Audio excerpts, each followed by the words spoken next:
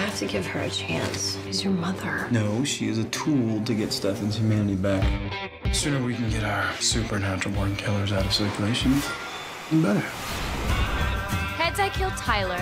Tails, I kill Matt. Are you serious right now?